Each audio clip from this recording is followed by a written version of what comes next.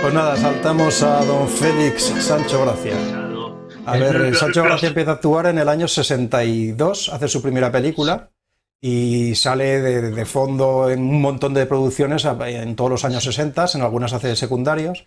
Y la primera cosa que hace muy protagonista ya de cara como a, salto al escenario que dices tú a la, actualidad es anterior a Los Camioneros, que es la serie de, D'Artagnan, la adaptación que Claro, estos mosqueteros, sí, la iba a mencionar ahora. Que... Y la verdad es que es un, es un tipo, aparte de que te cae muy bien, es un tipo que tiene una presencia impresionante. O sea, eh, realmente tiene muchísimas habilidades a la hora de, actuar, de tener una presencia dentro de lo que es la serie. Y luego los papeles que ha hecho posteriores a Curro Jiménez ha, sido un actor muy solvente. Ha sido un actor que, da un poco de tristeza que no haya tenido muchísimas más películas en su, en su carrera cinematográfica. Supongo que era un, un personaje complicado de llevar, debía tener bastante carácter, pero pero ha resultado una de las, de las mejores presencias artísticas que hemos tenido en España. Y no creo a, día de hoy que, haya actor que se le pueda, que se le pueda comparar. Eibers. Pues es que era un actor que tenía eso tan, tan difícil, tan indefinible, ¿no? Que se llama Ángel con la cámara. Es decir, aparte de que tenía actitudes interpretativas, pues bueno, es que hay veces que no les mm, bastaba más que mirar y sonreír y poner esa característica sonrisa eh, suya o simplemente la postura corporal. Manejaba muy bien actuar con el cuerpo ¿no? y cómo se movía dentro del plano y a caballo. Entonces era muy físico y eso también lo manejaba muy bien. Entonces, eh, pues bueno, empezó con, Los Tres Mosqueteros, una serie que también yo tengo en, DVD y me encanta. Hace un, muy buen D'Artagnan. Luego en Los Camioneros también, es otra de nuestras series de, infancia. Y, el, pelotazo fue Curro Jiménez. Y se le encasilló un poco en ese papel un poco de, aventura, de aventurero, de, galán, pues porque después hizo de El empecinado en los desastres de la guerra. Luego aquella otra serie también que fue un poco más desastrosa del... La máscara negra, ¿no? La máscara, negra. La máscara negra, ¿no? Intentando un poco eh, revitalizar estos eh, papeles de así de, aventura. Pero cuando ya se le empezaba a madurar todavía más y se le sacó de ahí, pues demostró que era un gran actor. O sea, uno de sus papeles más impresionantes es el del Jarabo en La huella del crimen, ese casi psico-killer español, y, es un papel impresionante. O sea, ahí es que está eh, terrorífico. Y yo creo que a raíz de ahí cambió la percepción que se tenía de él y se le empezaron a ofrecer otro tipo de, papeles. También sí, pero si, si te fijas, Ricardo, tampoco ha tenido una carrera excesivamente prolífica. Con todas las virtudes artísticas que tenía, me da la sensación de que es un, actor desaprovechado. Claro, Su último papel que recuerdo es el de 800 balas, que no deja de ser una especie de homenaje de una época también de las especialistas, en el que hace también un papel curioso, con muchísima fuerza. Pero la, idea, el concepto que tengo yo es que es un actor muy desaprovechado. A ver, es un, papel, es un actor que tuvo su momento álgido en eso, entre los 60, 70 sobre todo, y primeros 80, y luego ya pasó más un, un poco a segundo plano. Y claro, y es de esos actores que luego repesca Alex de la Iglesia, que lo hace mucho con actores que a él en su infancia le habían marcado mucho, como pues eh, todos los que salen en, la comunidad. Entonces siempre le gustaba mucho rescatar actores y rescata a Sancho Gracia para 800 balas y le da ese, papel que también está, está muy bien. No sé si llegó a estar incluso nominado a algún Goya por ese, por ese sí, lo nominaron a él, creo. a un Goya por, ese papel. Entonces, a mí la película no me entusiasma mucho. No es de, las, que más, no es de las que más me gusta de, de Alex de la Iglesia, pero él sí que está muy bien. es, lo mejor de la película. Pues yo de este hombre, que bueno, eh, igual que vosotros, me gusta mucho, lo que yo creo que en España puede haber pues todos los actores que quieras que sean mejores actores que, Sancho Gracias. Lo que me cuesta muchísimo es pensar en uno que tenga eh, tanto carisma.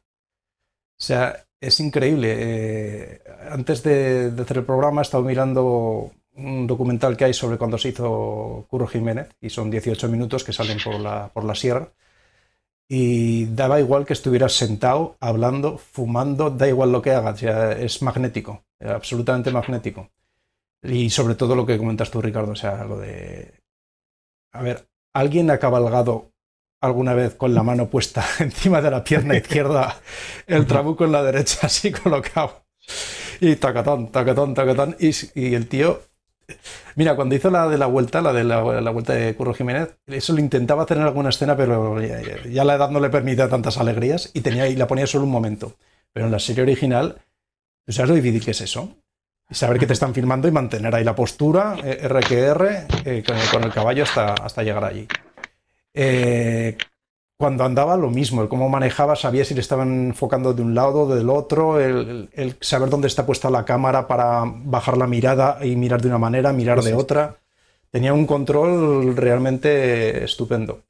Y obviamente sí, en los años 70 yo creo que tuvo tanto éxito que por eso luego hubo bajón. Hubo bajón.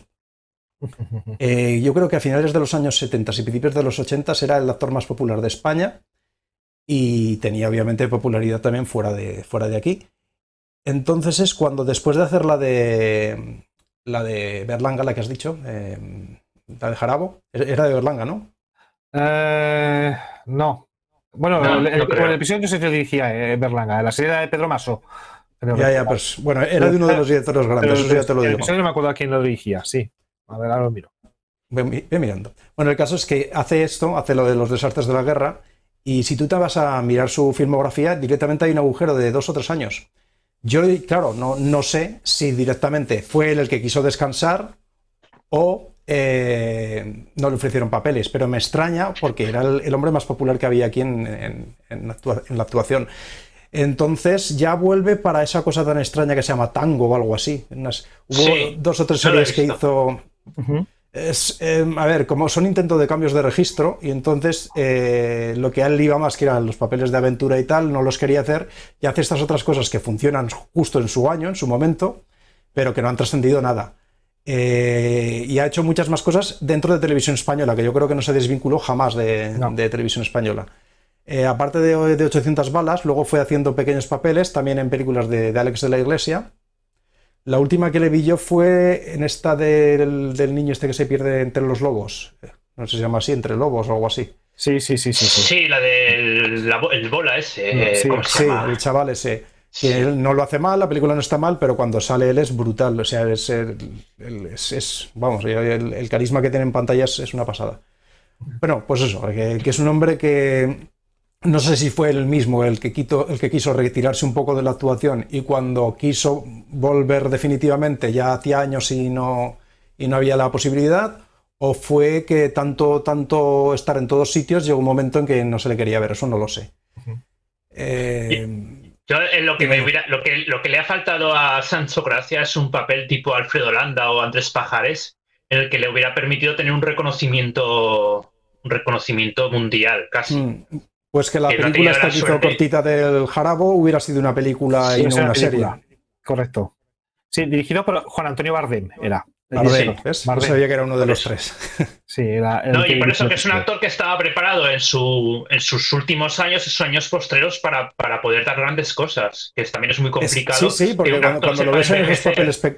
Sí, Dime, dime, que es que, no, no digo que es complicado, es complicado que un actor sepa envejecer muchas veces. Y este tenía todas las virtudes posibles. Me daba la sensación que tenía una soltura. En los pocos papeles que hizo, a posterior tenía la soltura suficiente para poder hacer lo que quisiera realmente. Porque como actor era muy bueno. Es que, era muy bueno, era muy buen actor. Es que ahí está la historia. El, a ver, este hombre es. Eso lo habrás visto o oído mil veces, que le encantaba vivir y vivir es vivir, o sea, salir, comer, beber, todo lo que fumar, todo lo que fuera la, la vida loca, por decir de alguna manera. Yo tengo algún amigo que lo, que lo conocía cuando hace el año 95, no, no, 95, no, 2005. En el año 2005 recuerdo que una vez estábamos, que teníamos un, un evento y vinieron dos del, dos del grupo que habían estado con él en el, en el, casco viejo de Zaragoza tomando algo. Se habían encontrado con él, lo conocía un tercero que era del mundo del cine. Y vamos, poco les faltó para, para no venir porque le, enganchaba a la gente por banda a reírse y a hablar y a eso y no había, y no había manera de... Y luego que, que, sabía actuar muy bien. Y entonces cuando ya el físico ese tan, por decirlo de alguna manera, mm, atractivo, viril que tenía cuando era joven, había desaparecido, lo que le quedó es eh, que era muy buen actor. Entonces, como, como, lo era, pues pudo actuar en esas películas y en esas cosas, pero sí, efectivamente le faltó un, papel que, que, lo redimiera un poquito. Y además es que es eso, es que puede ser eh, tener mucho carisma y ser un actor más o menos mediocre, pero bueno, el carisma te salva. O puede ser un buen, muy buen actor y faltarte carisma, pero es que este tenía las dos cosas. Entonces, claro, cuando se mm. junta eso, que eres buen actor y además se junta con el carisma, pues ahí, ¡pum! Porque, pues eso, su hijo, por ejemplo, que pues ahora es muy popular, Rodolfo, Sancho. Sí, a mí no me, parece buen actor, me parece que es, es en la sexta de Isabel lo hacía muy bien, o en el Ministerio del Tiempo está muy bien, pero le falta, le falta ese punto de carisma que tenía el padre. Sí. Sí, es, sí, es buen actor. Yo Rodolfo Sancho es buen actor, es buen actor. No es lo hace bien, tiene profesionalidad y tal, pero claro, a ver, él mismo lo dice, el, carisma de su padre es, pero es que no, no, el hijo, es que dime un actor que tenga el carisma que tenía este señor. Pero si a nivel internacional, dime, son, son raras avis, son, son de muy de vez en cuando aparece alguien así, es bastante extraño.